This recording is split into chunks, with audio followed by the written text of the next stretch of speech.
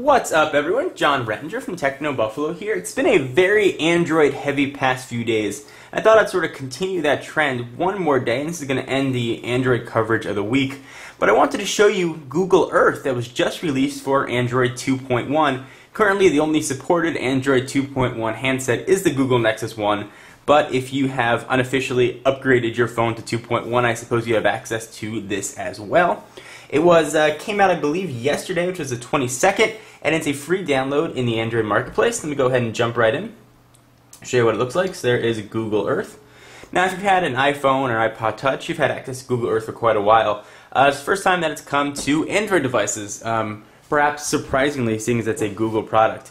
So what you'll see is a very familiar Google Earth with the pinch and zoom. There's your globe, you can spin it around. You've got the ability to fly into different locations. I'll show you some of the menu choices. So you can search my location, settings, layers, and help. I'll show you what those are as well. If you pick something like my location, you can see it sort of in effect and see all the fly-ins. It really takes advantage of, I think, the graphic acceleration in the Nexus 1.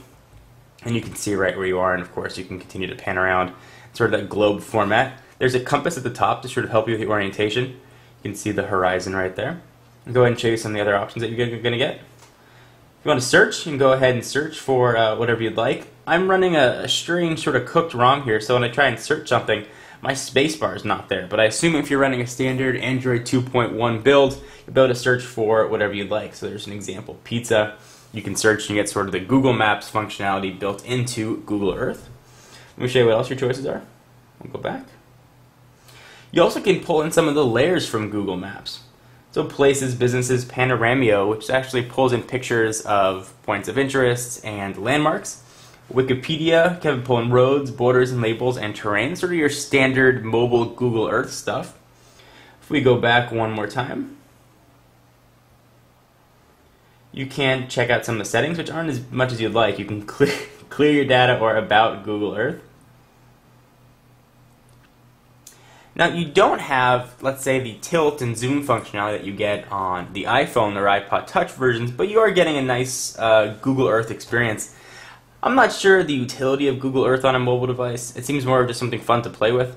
Um, you do get access to some of the 3D terrain and that kind of thing, and it's nice to sort of fly over. But uh, outside of that, I'm not so sure what the usefulness of it is. And of course, we'll rotate into landscape mode as well.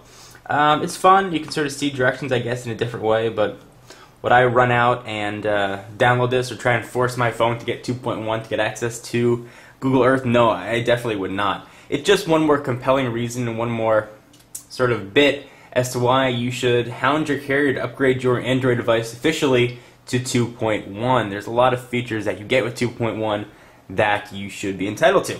So, anyway, guys, hope you enjoyed. Just a real quick overview here of Google Earth for the Nexus 1. Hope you've enjoyed the Android coverage of the past few days. I'm Jon Rettinger, and I'll see you in the next video. Bye-bye.